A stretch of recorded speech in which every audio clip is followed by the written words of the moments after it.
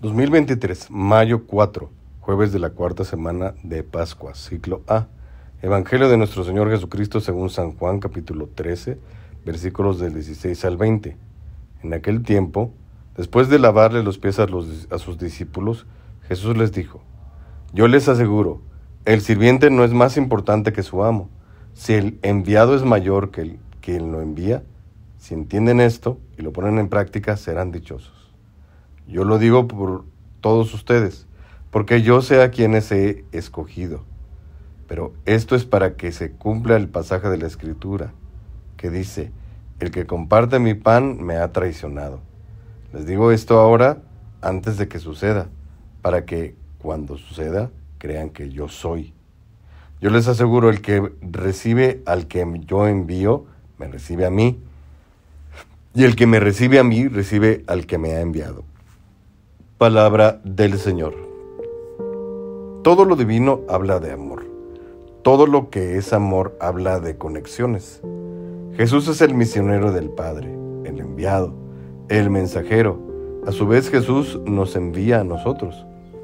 Ahora nosotros somos los mensajeros. Pensemos en la mecánica. Primero Jesús preparó, instruyó y profundizó el conocimiento de los apóstoles, los evangelizó y los entrenó para la misión. Y el mayor entrenamiento es esa unidad constante que compartió con ellos. Yo sé a los que he elegido, dice. Ustedes son míos y yo soy de ustedes. Esa es la predicación, esa es la buena nueva. Nosotros somos enviados para atraer a la comunión, al calor de la comunidad, a crear los vínculos necesarios al ser humano para verdaderamente ser ser humano. En otras palabras, la frase que nos define como personas humanas es, fuimos creados a imagen y semejanza de Dios. La sentencia previa que usa Dios es hagamos al hombre, es decir, es un acto comunitariamente trinitario. La Trinidad crea y crea un reflejo de su ser trinitario, de su ser comunitario.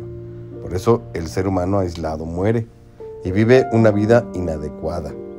Fuimos diseñados para vivir trinitariamente, comunitariamente, para vivir de Dios, de los demás. La misión va predicando eso y vamos entrenando a otros haciendo esa comunión con ellos. De tal forma que salir a misionar no es un acto aislado, es un acto institucional. La iglesia completa esencialmente es misionera y ese es su ser.